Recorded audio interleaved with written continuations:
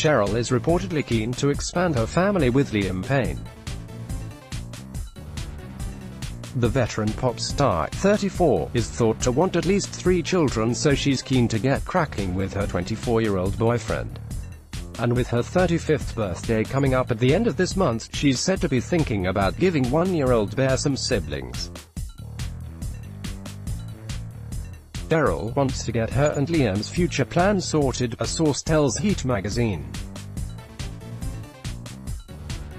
She may not be able to leave it much longer if she wants more children. Cheryl is keen for another baby. Image Splash News. She wants at least three kids. Image Splash News. Liam is thought to want to wait. Image PA. But while Cheryl is thinking full steam ahead on the baby train, Liam is thought to be keen to wait so he can focus on his career.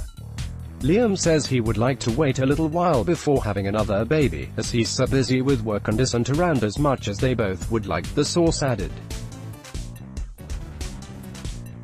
But Cheryl has always said that she feels like she has been put on this earth to be a mum, and so friends think it may not be too long. The source adds that she wants at least three kids and is desperate for a little girl to complete her family.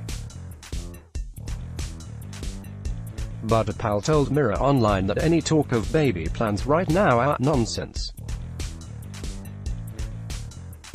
This couldn't be further from the truth, a close friend said. Cheryl is looking forward to getting back to her career after taking time out. Mirror Online has contacted Cheryl's representative for comment. Cheryl and Liam Payne put on a united front at the Brit Awards. Image PA, Liam's career as a solo artist has taken off.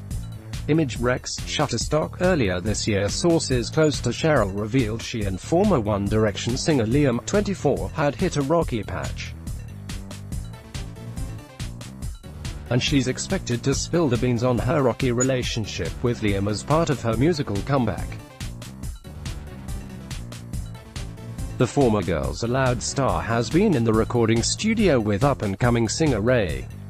And Raye, 20, revealed Cheryl is getting personal on her fifth studio album. She said, We've gone proper personal and unveiled some layers. She was really open and I think she's got her head on straight. She wanted a young up-and-coming writer to help her put her perspective out there and into a song. The music is really good. I think she's got something really exciting coming up.